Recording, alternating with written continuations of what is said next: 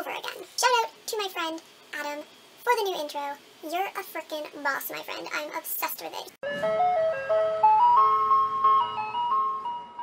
Hey guys, it's Jay and I'm here with a book unboxing video.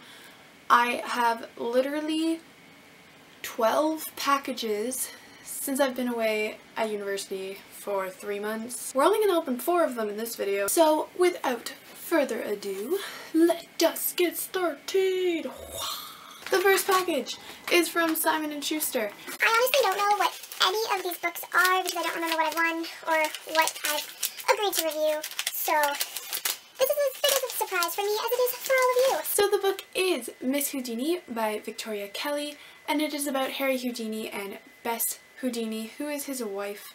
I didn't know that. Now I do. Harry tells Bess that after he dies, he is going to be able to contact her from beyond the grave, and it's basically the story of Miss Houdini, Bess, finding out this code and unlocking what it means, and it leads her to a young photographer, and she is realizing that her husband's magic may not just be magic, it might actually be much more than that. I'm obsessed with this cover. It kind of reminds me of Paris, even though I know it's not Paris, but I like. I like a lot.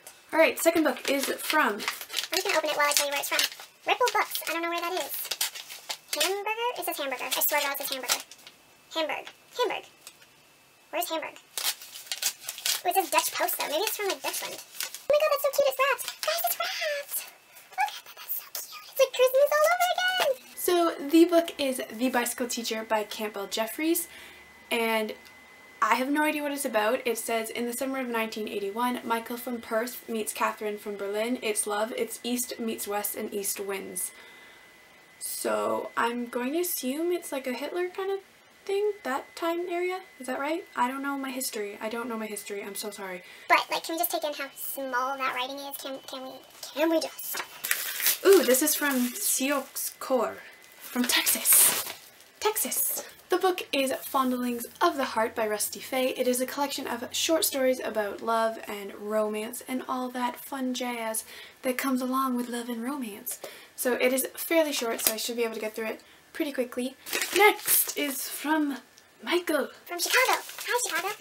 How are you, Michael? Are you doing good? The book is American Flowers by Michael A. McLellan, and it is about 19-year-old Chris Schaefer and 17-year-old Allie Lafton. And basically they meet and they are thrown into this world of drugs, crime, and death as their life spins out of control. And it's just their story. I'm not 100% sure what it's about, but it sounds like it could be super interesting. It's kind of big, so I don't know when I'm going to get to it because university, but we'll see. And I will let you guys know what I think of it in my wrap up. Alright guys, so those were the first four packages that I received from authors and Goodreads since I've been at university. So I will see you in my next video. Goodbye! To uncode the code. What? It's one of those like really soft books that you want to like rub on your face all the time. I have no idea what it's about. So there's that. There's a sticker. Of course there's a sticker.